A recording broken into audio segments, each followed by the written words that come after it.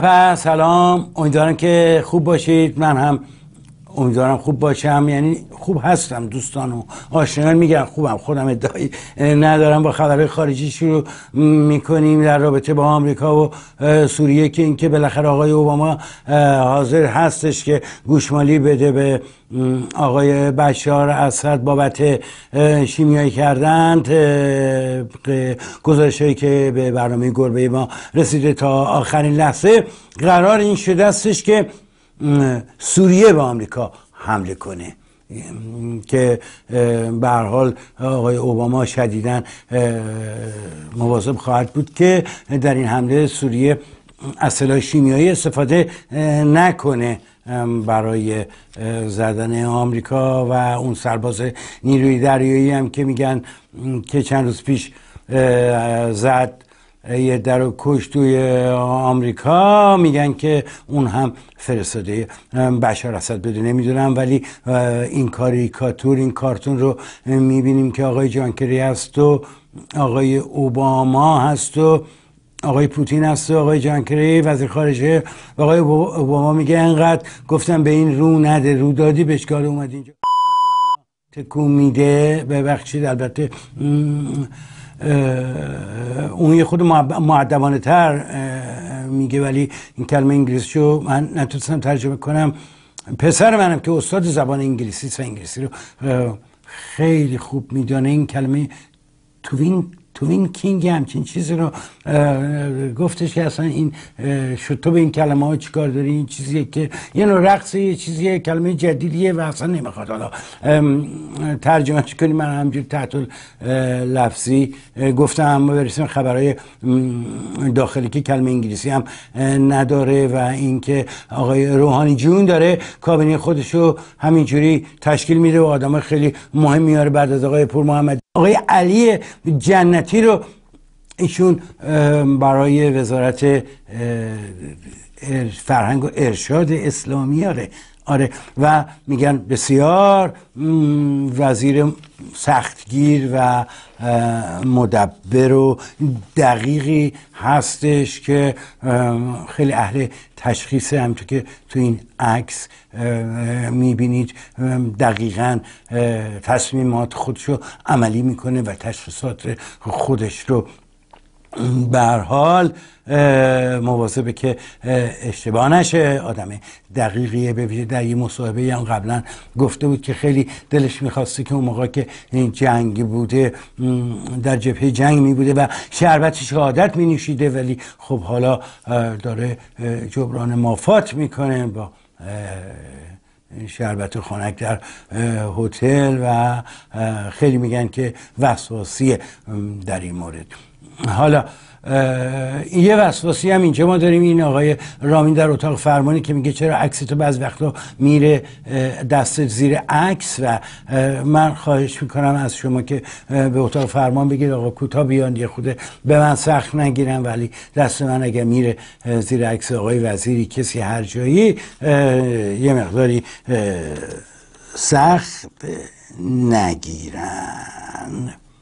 دیگر خبرهای مملکتمون تصادفات جاده ها و بیمبالاتی راننده های اتوبوس های مسافربریه و این از اون همون آغاز مشخص شد که راننده های اتوبوس های مسافربری در جمهوری اسلامی زیاد مواظب جون راننده. زیاد مراعات مسائل رو نمی‌کنن. اولین موردش همون اتوبوسی بود که پر از نویسنده و خبرنگار و روزنامه نویس بود که به بهانه که می‌خوان برن به ارمنستان اینا رو سوار اتوبوس کرده بودن و به راننده گفته بودن بنداز ته دره. ولی باز این راننده وظیفه شناسی نکرده بود و اتوبوس رو نتونسته بود بندازه ええ、ته در خودش پریده بود پایین ولی برای بچه های روزنامه نیز پریده بودن اتوبوس نگه بودن و میگن شاهدای عینی که همون موقع یک بنز سیاه رنگم با چند نفر از این عینک دودیا اومد. رد شد اومده بودن ببینن که اتوبوس افتاد ته دره کسی مجروحی شده نیمه جونی هست و اینا. خلاصه ترتیب براش بدن که دیگه مشکلات بعدی ایجاد نشه. خود راننده را اگر زنده است یه کاری بکنن که خب دیگه زنده نباشه. از همون اون موقع معلوم شد که راننده ها چه اونایی که قصد کشتن سرنشینان دارن چه اونایی که قرار سرنشینان رو نکشن زیاد توجه نداره. حال علتش چیه؟ من میگم. اول این آقای راننده رو ببینیم که پشت فرمون داره پیتزا می‌خوره. به به. نوش جونش البته پیتزا بخوره. در زمان قدیم تابلوهایی که حواس راننده رو پرت می‌کرد اینها مثل تابلو سردر سینما هستش که این روزنامه نوشته. آقایان پشت فرمان عکسای سکسی سردر سینما رو تماشا نکنید خطرناکی که میگه 5 درصد ده تا تصادف روزانه مال این عکسایی که سردر سینما هست البته خب اون تو شهر بود. و حالا تصادف هم میخوردن. به هم اما این آقای راننده که داره پیتزا می‌خوره نگاه کنید تو همین فاصله که من داشتم این عکس رو نگاه می‌کردم یه مقدار از پیتزاشم خود حال نمی‌دونم پیتزای چی هم هست. عیبم نداره. آن جونش. نمیشه هم که اعتراض کرد. می‌دونیم که اعتراض کنیم همه ما می‌دونیم چی جواب. ایرانی هستیم ما. آه چه؟ نخورم. بدم تو بخوری. آقا پتا بیا رانندگی که من بخورم. نهارم هم نخورم. کسی جارت داره بگه آقا تو وقت نهارت کی بوده و چرا الان داری پشت فرمون پیتزا می‌خوری؟ نه. حالا عکسم که این بابا گرفتن ازش دزدکی که تو میگه چه خبرته؟ چیشه برو. برو با تیاره برو اگه می‌خوای که خلبان برات رانندگی کنه. وگرنه من باید پیزا بخورم. پیزا دیگه چیه؟ این فرمونن گرده اینه که زیاد قبحی نداره خوردنش. چیه؟ بی فسترگانوف که نخوردم که. آبگوش که نخوردم که باشه فرمون. چی میگی؟ راست میگه. آبگوش دیزی. حالا فکر کاری که دیزی باشه فرمون بخوره. باید سپاسگزار باشیم ازش که دیزی نخورده وگرنه تا نون تریز کنه. و بخوره و سیب زمینی ها رو پوست بکنه و گوشت بکوبه گوشکوبیده درست کنه و گوشکوبه بخواد بلیسه دیگه. گوشکوبه باید بده. نکیر منکر بلیسن. البته اگر به این اعتقادات اینوری هم داشته باشه وگرنه اگر نکیر منکری توی کار نباشن پلیس را باید بیاد گوشکوب رو بلیسه و علت این تصادفات اتوبوس ها در جمهوری اسلامی من فکر کنم که افزایشش بر این اساس هستش که یک دلگرمی راننده ها پیدا می‌کنن بابت سلواتی که مسافرها میفرستن. همیشه تو همه اتوبوس ها و ها در جمهوری اسلامی یه نفر هستش که اون از اون وسط ها به طور خودجوش میگه که نمی‌دونم در سرازیری قبر باب الهوایج به دادت برسه سلوات بفرست باب الهوایج سرازیری قبر دیگه آدم چه حاجتی داره؟ کار نداریم. من بچگی همیشه دلم میخواستش که وقتی بزرگ میشم همون آدمه باشم که تو اتوبوس نشسته و میگه سلوات بفرستین این خیلی کار رسانه‌ای شومنی دوست داشتم. نمی‌دونستم که حالا بزرگ میشم میام توی تلویزیون. همیشه هم گوش می‌دادم چی میگه. بعد می‌گفتن سلوات دوم رو آخه اگر سلوات اول به اندازه کافی کارساز نبود دو تا سه تا سلوات دوم رو جدیدتر خط من فکر می‌کنم میگن جدیدتر. اون موقع من جلیتر یعنی مثلا با پور جلوتر و بلندتر و اینا. این این این این رو که میفرستن خب رانندم دلش گرم میشه. و خیال می‌کنه که از تصادفات جلوگیری می‌کنه. نه اینطور نیست. خب سلوات فرستادن یه همصداییست یه هم نواییست یه دلگرمیست یه آرزوه. حالا یه دعاست. عیب نداره دیگه. اینا یک صدای جمعا میگن اما تصور این که این سلوات لاستیک نازک ساخت چین اتوبوس رو مثلا کلفترش می‌کنه یا انحنای پیچ تند جاده رو یه خود نرمترش می‌کنه. خب دیگه اشتباهه. یعنی اگر که راننده فکر کنه که این سلوات سرعت رو براش کنترل می‌کنه به موقع ترمز می‌گیره و به موقع فرمان میپیشه دیگه اون راننده به جای که پیتزا بخوره من فکر کنم باید ساندویچ مغز بخوره. اونم نه ساندویچ مغز خر. به حال سلوات میگم کاری به اون بخش مذهبیش ندارم سنتیش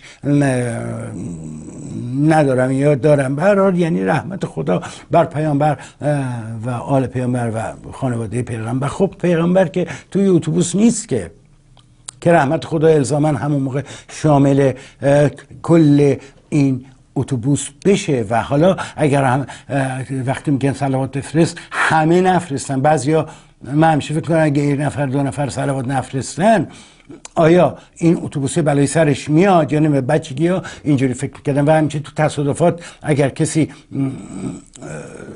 زنده میمون می‌گفتن آه این همونیه که صلوات فرستاده بوده. بقیه چون صلوات نفرستادن. به سزای اعمال خودشون رسیدن. اما به هر حال قبول کنیم عقل حرف عقل رو که صلوات در عمل کاری نمی‌کنه. مکانیکی نیست یک صوتی است. برای دلگرمی برای نمی‌دونم ابراز ارادت ابراز اعتقاد. اما در جمهوری اسلامی خیلی زیاد شده پست سلواتی داریم. نه بفرمایید. واکس سلواتی داریم. مثلا این واکس اسوانی گفته که مثلا انقدر سلوات پیش قسم می‌گیریم بعد که به آنه می‌گیریم بعد که واکس زدیم انقدر هم بر برق میندازیم انقدر سلوات اضافه می‌گیریم خب شوخی با سلوات هم کرده. تلگراف سلواتی خب خوب ایستگاه شربت و چای اینجا سلواتی. جنان سلواتی. افتاری سلواتی. ایستگاه سلواتی هستن اینجا. بانک سلواتی. شلوغ میشه. صف میبندن قلقله می‌کنن. آقا برو کنار خان برو کنار. مال بنه اون مال بنه البته یه دم هستن که مستحقم هستن اعتقادم دارند به یعنی اعتقاد که منظورم اینه که نیاز دارن به به حال کمکی بشه. ولی اونها آرشون میاد کسشنشون میشه که برای یه چیز مفتی اینجور خودشون رو بندازن جلو شلوغش کنند. و اینکه واقعا یه وقتی هستش که چیز سلواتی باشه که طلبی مثل مثلا این.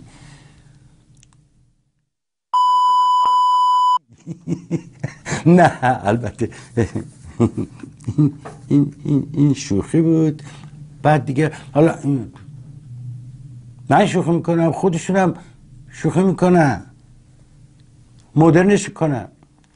دانلود سلواتی بلوتوس سلواتی نمی‌دونم با سلوات چطور میشه دانلود کرد. من با, با این از آقای این مهندس آرش مسئول سایبر رو اینترنت ایران فردا بپرسم که بلوتوس با سلوات یا دانلود با سلوات چطوری؟ عملی در اون اونم در فیروزآباد. حالا باد سلواتی. اقلا این چیزی. باد سلواتی یعنی خب دیگه گذاشته دیگه جهت شادی روح در گذشتگان اینجا باد سلواتی است خب آره. در گذشتگانی کی؟ در گذشتگان سابات دیگه. نه اینکه اون کسی که سلوات میفرسته که باد مجانی می‌گیره که در گذشتگانش فکر نمی‌کنم روحشون شاد بشه یعنی قرار نیست. روح امیدوارم که روح در گذشتگان این آدمی که یه همچی کار خیری کرده شاد بشه. اما نمی‌دونم مگه روح در گذشتگانش چقدر غمگین هستن که این اصلا 24 ساعت تابلو زده و یک مغازه رو نظر این که سلوات کرده. خب کار یه سری کار خیریه هستش که به اسم سلواتی انجام میشه. ایناش خوبه اما بعض وقتا این یه چیز سلواتی اعلام می‌کنن که آدم چندسش که زشته. که حقیره که نکبت باره کثیفه. چی؟ بگم. چیه سلواتی؟ دلل قاضی سلواتی بله ایشون هستن. اون قاضی سلواتی حالتون گرفته شد. خب حالا حالا حالا یه سلواتی خنده دار. چی چی سلواتی؟ ها؟ الان براتون میگم. بفرمایید. اینم ایستگاه سلواتی ویژه خواهران. در خواهران. ولی خب خواهران نیستن. اینجا 22 تا تقریبا برادران هستن. فکر کنم یه خواهر سلواتی پشت این پرده باید پنهان باشه. خواهران ویژه سلامتی به هر حال اینجا باید دقت کرد که خرافات رو قاطی اعتقادات نکنیم و قاطی سنت ها هم نکنیم. و راننده ها هم. خواهش کنیم که یه خود مراد کنن. توی اینترنت داشتم میخوندم که جوانی نوشته بود که دوست دارم با آرامش در خواب بمیرم راحت در چل و پنج سالگی مثل پدر بزرگم آسیدلی راننده. نه با جیغ و داد و وحشت و فریاد مثل مسافرهای اتوبوسش. و خواهش می‌کنم پیسه هاشون و راننده های عزیز بخورن اما رایت هم بکنن و زیاد همه چیز رو به سلوات رها نکنن. عبید زاکانی می‌گوید که شخصی می‌گفت چشمم درد می‌کند و با آیات و ادعیه مداوا می‌کنم. یعنی مثلا هرز جواد رو نمی‌دونم و ها نمی‌دونم اینا رو ریخته مثلا آب مالونده چیکار کرده گذاشته رو چشمش. تلحک گفت اندکی انزروت نیست بلانها بیافزای. انزروت مسکن بوده سمق درختی بوده کاری مثلا آنتیبیوتیکی آسپرینی چیزی کرده که اوبید اینجا می‌خواد بگی خب ترجمه نکنم من اوبید چی می‌خواد بگی می‌خواد آقا انزروت دوای چشم بذار رو چشمت. و نه اینکه فکر کنی دعا معجزه میگه نفهمیدم چه پیچزایی می‌خورد حالا این راننده. حالا فرقم نمی‌کنه. این باور کردن های اینجوریه که اون و حکومت ها رو می‌ذاره به اونجایی که ملتی رو بذارن سر کار. الان چای جمع درست کردن. از چای نفت درآمدش براشون بیشتره. چاه جمع کردن و حالا تازه تقش در اومده. یعنی تقش در بردن که چی؟ دارو ترجمه اونجا باید درست کنن. برای اینکه چی میگن؟ اینها زائران گرامی. لطفا نامه های خود رو قبل از انداختن به چاه به عربی نویسی چون روایت است که امام زمان عج به زبان فارسی مسلط نیست. چطور؟ امام زمان عج به زبان فارسی مسلط نیست ولی ظاهران بدبخت دردمند بیچاره ساده لوح فلان. باید به عربی مسلط باشن البته که نه البته که نه. اینجا هم چهار تا طلبه و اینا یه دکون جدیده که دار ترجمه واکنن اونجا که نامه های بدبخت رو بگیرن حالا به عربی کنن یه پولی هم اینجوری ازشون بگیرن. البته امام زمان فکر نمی‌کنم عربی بلد نباشه. یعنی آقای احمد رجا تا اون موقعی که مرتب میگه هر روز با امام زمان داره صحبت می‌کنه و اون آقای مشایی که هر روز جناشو می‌گرفت به امام زمان نشون می‌داد راجع به هر جنی با امام صحبت کرد هیچ وقت صحبت نکردن که اینا امام زمان عربی بلد نیست. نه. هیچ وقت صحبت و الان تازه شغل جدید می‌خوان ایجاد کنن. دارن اینجوری چیز می‌کنن. حالا مگه امام زمان اونجا چقدر مگه فارسی بلد باد باشون مسلط مگه این نامه ها مگه چی چی می‌نویسن روی این نامه ها مقاله علی اصغر حادثه جوادی که نمیندازن توی چاه که امام بخونه فارسیشو. نفهمه امام. شفا بده امام پول بده امام. با جناق منو شکست کن. امام مهرین هوو رو عدد شوهر هم ده بیست تا نوع بیشتر فکر نمی کنم که تقاضا باشه که خب امام زمان خودش می‌تونه. چرا مردم برن دونه دونه مترجم بگیرن و خود امام زمان یه دونه مترجم بگیرن اونجا بذاره و بعدم در ده تا این نامه رو که بخونه حفظ میشه که امام ویزای آمریکای ما رو درست کن. اینا چیزی نیستش که انقدر اینا بخوان که دکون واکنن و اونجا تشکیلات درست کنن. این بدبخت های بیچاره ای که میان حالا از راه دور با اون فلاکت چیز می‌کنن باور می‌کنن که امام حالا می‌تونه کاری براشون انجام بده. اون وقت تازه آره تازه این ترجمه ها رو میندازن بعد اینا نمی‌فهمن که اون سر گندش زیر لحافه. فردا اروپا میشه میاد. آقا چی؟ چجوری ترجمه کردی؟ چرا اینجوری؟ من گفتم با جناق ورچکت بشه خودم ورچکت شدم. آقا چی نوشی تو سیره رو چجوری از قول من از دستوری چجوری نوشی من گفتم هووی من سینه پلو کنه. من خودم دو ماه سینه پلو کردم افتادم.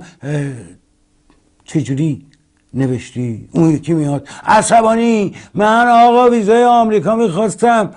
نامه دادم برای امام ویزای آنتالیا به من دادن. ترکیه نمی‌خوام برم. دعوا میشه سر چاه شلوغ میشه. بالاخره ممکنه ملت بگیرن همین مترجمه رو بندازن. تو چاه بگن یا امام تو خودت تکلیف ما رو با اینا معلوم کن. همه اینا می‌تونه امکان داشته باشه. اینجا که من اینجوری می‌بینم نوشته. اون زیرش هم چیز دیگه نوشته. از انداختن مواد غذایی به درون چاه جدا خودداری کنید. رواتومی مسجد جمکران. لطفا هم نداره اول جمله اقلا لطفا به امام زمان غذا ندهید. نه. که گرسنه بدبخت. حالا میرن غذا میریزن اونجا. درون چاه خواهر نان نینداز. برادر کشک و بادمجان نینداز. نریز آن قرم سبزی را دوباره. نه جانم تاس کبابم دوست نداره. ببین بر تابلو اینجا نوشته نه قیمه نه کوکو نه آشرشته. چی چی میگی که اون تابلو به ما چه؟ نریز بر فرق آقا کل پاچه. آهای اون گوشکوب ننداز مل اون. آقا گوشکوب نمیلیسه. اولاق جون. حالا اقلا این چند بیت اگر می نوشتن یه خود زائرا شیرینتر میفهمیدن که باید غذا داخل چاه نندازن. ولی من فکر کنم که آقا فارسی بله امام خمینی که نایب امام زمان بود فارسی بلد بود. چطور که حالا خود آقا من فکر کنم امام زمان هندی هم بلد باشه. نمیشه. نمیشه هندی هم بلد باشه. ولی البته امام زمان ممکنه چیزایی رو از مقام رهبری میگه نفهمه چی میگه. برای که مقام رهبری یه چیزایی میگه مثلا میگن که نرمش قهرمانانه. حالا این یعنی چی؟ نرمش قهرمانانه یعنی چی؟ یعنی اینا دارن به خودشون میقبولن قرم قرم رو. که بگن به خودشون یواش یواش. دارن نخ به آمریکا میدن منتها می‌خوان یه جوری بگن که امام زمان نفهمه اوباما بفهمه. خانواده شهدا نفهمن ولی آقای جانکری بفهمه که نرمش قهرمانانه دارن می‌کنه ولی از فردام باز یه عده برای این که رضایت مقام معظم رهبری رو جلب کنن مثل آقای محسن رضایی بعضی از این سردارا ممکنه که بخوان که اینها نرمش قهرمانانه خودشون نشون بدن. برای اینکه زیاد قپی این عکس من اینجا می‌ذارم. اگر می‌خوان آقایون نرمش قهرمانانه بکنن اینجوری نرمش کنن. روزی ده بار روی این بنویس. نه نه ننویسن. اینجوری خودشون رو نرمش کنن قهرمانیشون رو نشون بدن که رهبر معظمم ازشون راضی باشه و میمونه. یک عالم حرف دیگه ای که من امروز دیگه وقتم تموم میشه. شما نرمش قهرمانانه نکنین تا هفته آینده که من بیام و بگم که چیکار باید بکنیم. بفهمین ادعاتون میشه. می‌خواین جلو مقاضم معظم رهبری خودشونی کنین. اینجوری نرمش قهرمانانه رو یاد بگیرین. راجع به اون که وزیر دادگستریشون هم گفته که به حال ارزش انسان در اسلام بر اساس قیمت گاو و گوسفند و شطور است که تعیین میشه که دیه هستش که خون انسان قیمتش با قیمت اینا خونبه های انسان بالا پایی میره که در آینده به نظرم همچون که صحبت ارزو می‌کنن که دلار چقدر پوند چقدر ریال چقدر باید بگن که شطور رفت بالا گاو اومد پایین گوستند اون وسط هنوز داره بعبع می‌کنه. ولی خب به حال حضور این حیوانات در جمهوری اسلامی باعث میشه که یه مقایسه هم صورت بگیره. خرهایی رو می‌بینیم که حالا انقدر کار می‌کنن که از خرکاری به خرگاری میفتن ببینین چقدر. کار که روزی چند ساعت این کار می‌کنه. برای یه لقمه جو و تازه کره خراش لکسوس سوار نمیشن و خانوادش هم نمیرن. از بوتیک های لندن و پاریس پالون مدروز مارکدار بخرن. یا گاف گاف ما گاف داریم. از آدم ها. اصلا بی خودی من یاد آیت الله اجایی میفتم که پیرارسال گاز گرفت. یک روزنامه نویس و ایسا سرخیت و این یه موضوع دیگه بود که می‌خواستم بگم ولی الان راجع به گاف هایی میگم که می‌تونن انسان باشن. این, این گاف رو نگاه کنیدش. چقدر انسانه. نیزه خورده نیزه رو از همون گاف باز از همون ماتادور خورده گردش رو ببینید نیزاتش فرو رفته ولی او درد این گاف باز رو درک می‌کنه و واسطه و داره نگاهش می‌کنه و داره دلداریش میده. یا داره غصهش رو می‌خوره. تو که از مهنت دیگران با غمی بقیه رو ول کن. تو یکی آدمی. کاش که آقای روحانی این گاو رو میذاشت توی کابینه خودش. یک شغل وزارتی بهش می‌داد. فامیلش هم نمی‌خواست که بیاره دیگه آخه. و تا هفته آینده شما رو به گربه و گربه رو به شما میسونم بچه ها این گربه ایران ماست. مواظب باشه از شر سگ های هار مسون باشه. تا هفته